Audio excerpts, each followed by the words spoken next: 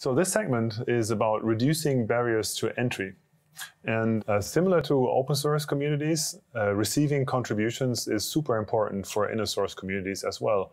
And in this segment, we'll explore what trusted committers can do to foster contributions. So soliciting contributions is actually a little bit harder in inner source than it is in open source. And there are a few reasons why this is true. For the first place, there are just fewer contributors. And that's because you're constrained by the size of a company or or the size of you know an individual work group as opposed to the whole world. Um, secondly the contributors are going to want to work during their work hours. And this is different than open source where people tend to work on weekends and evenings on pet projects. And then thirdly especially at the beginning of an inner source practice in a company the goals that a given employee is set up for their focal review may not be reflected in inner source.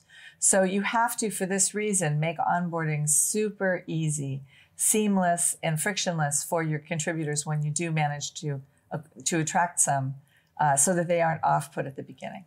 And as a trusted committer, there are a number of things you can do uh, in order to foster contributions.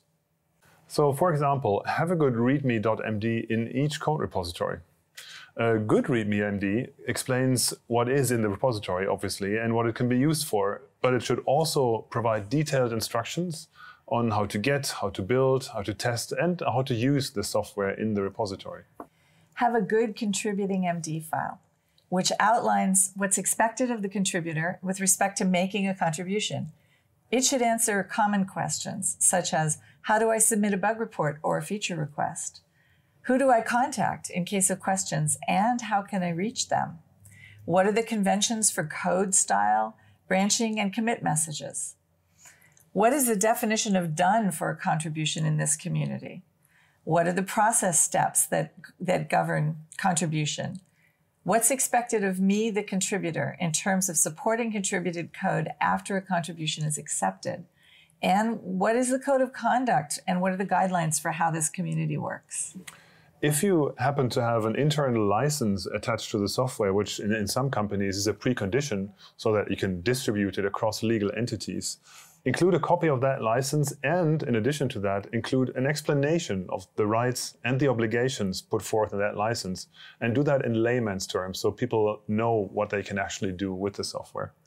And in addition to these documentary tasks, and similar to open source software development, it should be super easy and straightforward to run and to test the software locally by potential contributors so that they can start implementing and validating their contribution with as little effort as possible. So related to contribution, there are two common models today for making contributions, for the mechanics, so to speak. The one is called fork and join, and the other one is called shared repository. And both have advantages and disadvantages. Uh, but as a trusted committer, you want to make sure to accommodate the needs of your contributors and support both models in your community. Oftentimes, potential contributors will have a question that they need an answer to before they can make a contribution. That might be a technical question, but it could just as easily be a housekeeping question like, who do I ask a question of? Or how do I contact the trusted committer? So, for this reason, it's important that there always be somebody on call to answer these simple questions in the contributor channel. And it is the trusted committer's responsibility to make sure that there are people around to do that. Now, in many communities, the trusted committer takes that responsibility on themselves. But as the community grows, it's a great idea to distribute this task to people who are up and coming, have a little bit of experience, and know the answers to those simple questions um, this is a principle that works really well in open source as well, which is participation is ownership. So the more you can give people responsibility as they show an appetite for it, the more you make your project sticky for them and they'll stick around. So wrapping up, for an inner source community working in, in a corporate context, it is super important to keep the barriers for entry as low as possible to get as many contributions as possible.